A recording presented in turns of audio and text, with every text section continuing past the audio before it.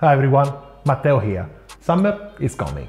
So it's time to start my quest on finding the best iced pour over slash filter coffee method. This is the first of a series of videos where I will share with you my progression on finding the best way to make the most tasty iced filter coffee. So if you don't want to miss my next episodes, you know what to do. Subscribe. Ah. So, first of all, for who doesn't know, what's an iced filter coffee? Iced filter coffee, or also called Japanese style iced coffee, it's a method of making iced coffee that involves brewing coffee hot directly over ice. Unlike traditional iced coffee, where hot coffee is brewed first and then chilled, Japanese style iced coffee is made using a pour over method where hot water uh, is poured over coffee grounds directly onto ice which instantly cools the coffee and locks in its aroma and flavors. The result is a bright, crisp and refreshing iced coffee that highlights the flavors of the coffee beans used. Japanese style iced coffee is particularly popular in Japan and has gained popularity in specialty coffee shops around the world for its unique and delicious flavor profile. So what you need to make this drink is a dripper. I'm using the Orea V3 Basalt for this video, but you can use V60 or any other dripper. You need a server or you can pour the coffee uh, directly in a glass.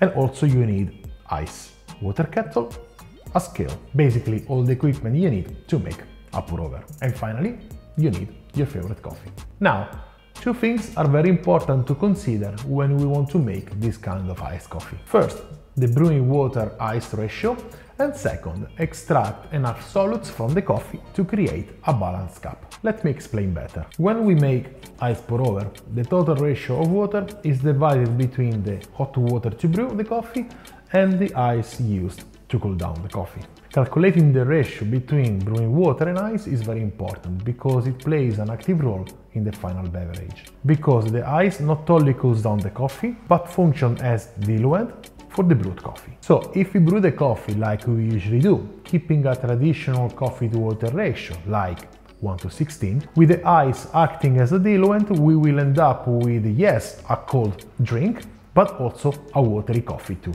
because the ice melting will drop the strength of the coffee. So we might end up with a balanced cup, but as I said before, very watery. And that's what happens when we make a traditional iced coffee. This goes together with a second very important aspect to take care of the actual coffee extraction. We know the ice is going to dilute the drink while cooling it down, so the coffee we need to brew must have a high strength. Enough strength to make sure that once all the ice melted, it will be ideal for our tasting preference. That's why for this method we are going to use less water to brew the coffee, because in general with any brewing method the majority of the solutes are extracted in the first part of the brew. So if we cut the brewing water, we will end up with a stronger coffee. Easy, right?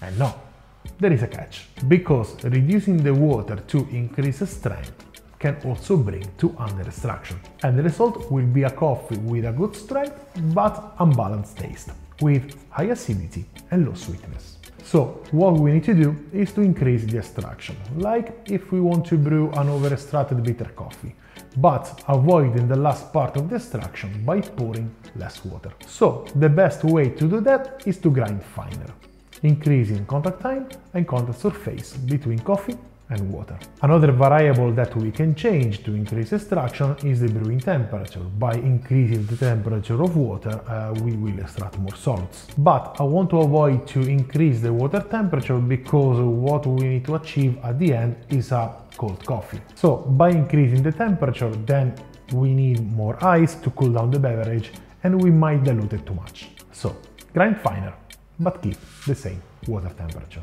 Okay, now the method. As a base, I will take the technique I have already posted here on YouTube previously for the large Orea V3. If you haven't checked it yet, I will link it here for you.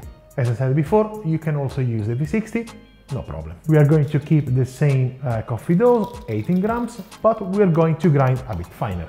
I start with um, 22 Comandante regular clicks. Water temperature we keep the same, 93 degrees Celsius. Now for the brewing we're going to use only uh, 210 grams of water, so basically only the first pours of the method, uh, 60 grams for the first pour, 70 grams for the second pour and 80 grams for the third pour. 90 grams is the ice. So if we calculate the percentage between the brewing water and the ice, 70% it will be the brewing water and 30% the ice. This ratio is something that we can modify. For example, uh, increasing the percentage of brewing water, we are going to extract more solids from the coffee, but we will end up with a warmer uh, drink at the end. And if we increase the ice, we will end up with a colder drink, but a slightly less extracted. But for now, we keep 70-30. Before brewing, another thing I want to talk about is how to approach the blooming.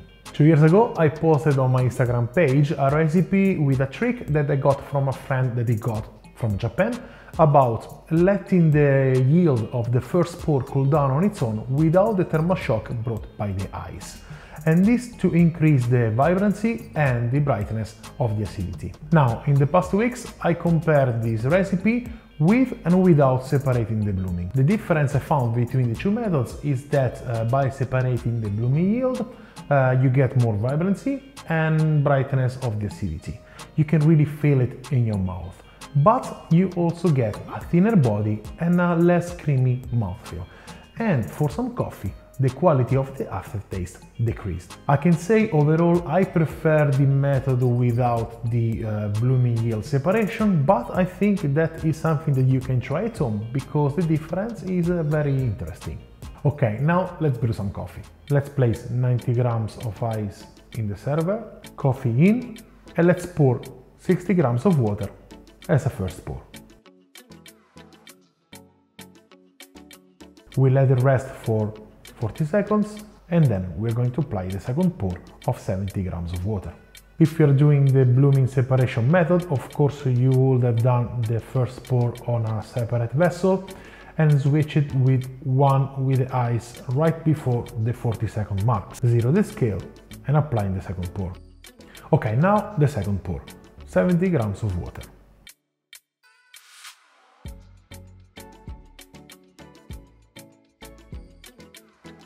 When I brew with Kalita paper, I want to make sure I recollect all the ground after every pour. So I give a light swirl. And then at 120, the third and last pour of 80 grams.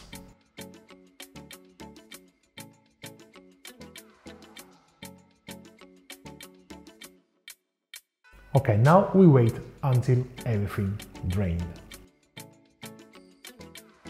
Okay, now the coffee is finished to drain and we let the ice melt. I usually use a teaspoon to speed up the process. If you're doing the blooming separation technique, now is the time to pour the blooming yield together with the rest. Now, the end temperature, I usually get a liquid at 20 degrees Celsius when all the ice has melted. If I use the blooming separation technique, I usually get 15 degrees Celsius, probably because the yield of the first pour cools down by itself. So the ice is uh, able to reduce the final temperature a bit more. Average final TDS uh, with the dilution is around 135-140, that depends on coffee. When I was doing the collection of data, I found that with this method I'm able to achieve an extraction yield of 18-90%, uh, always depending on coffee, but overall pretty balanced. After all the ice is melted, I pour the coffee in another glass with more ice. This ice will uh, drop the temperature even more and of course it will drop a bit more the strength but usually I never lose the coating texture. A suggestion is to use a big piece of ice because it will dilute the drink less. You can either cool down the coffee and then remove the ice. Up to you now, be creative. If you want to brew a bigger coffee, you just need to increase the dose, the water and the ice, but always keeping the same proportion. I really hope that you will try this method and achieve a very nice refreshing iced coffee. This is the starting point of my ice filter coffee quest on finding the best method to make it. If you're going to try this method with or without the blooming separation, I would like to hear your feedback, so I really appreciate it if you are going to share it with me. If you want to share your favorite ice pour over method, please uh, drop a comment in the section below. I hope you like this video and I can't wait to see you in my next episodes of the saga. In the meantime, I wish you a wonderful day and delicious coffee. Ciao!